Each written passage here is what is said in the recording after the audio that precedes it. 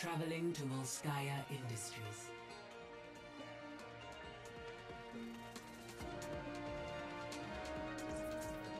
Play of the game.